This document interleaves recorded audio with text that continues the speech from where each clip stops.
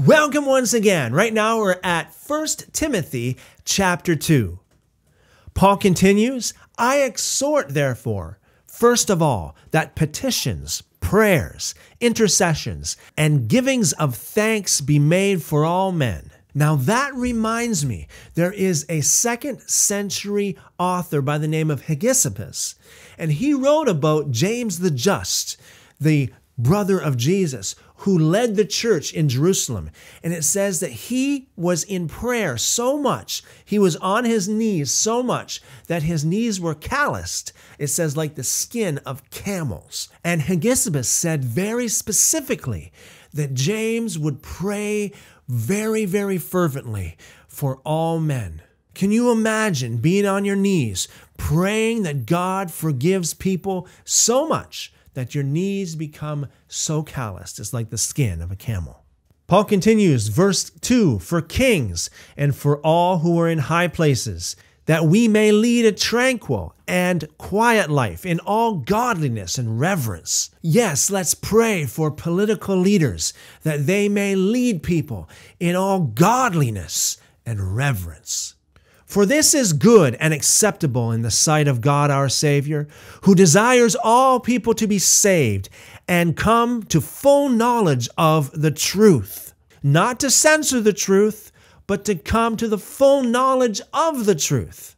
For there is one God and one mediator between God and man, the man Christ Jesus, who gave himself as a ransom for all the testimony in its own times, to which I was appointed a preacher and an apostle. Don't forget the word apostle here. It's just a fancy word meaning someone sent.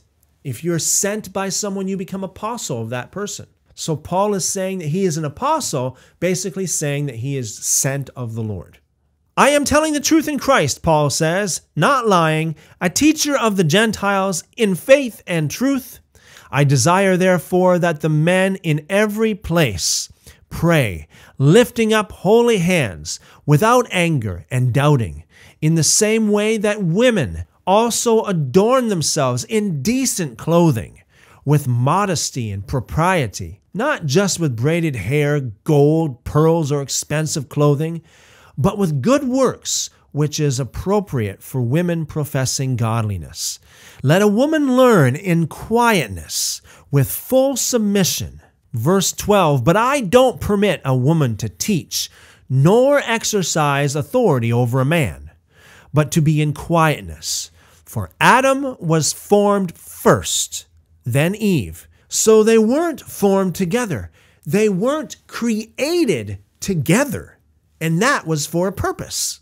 For Adam was formed first, then Eve.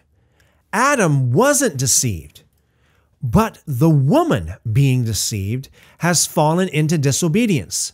But she will be saved through her childbearing if they continue in faith, love, and sanctification with sobriety.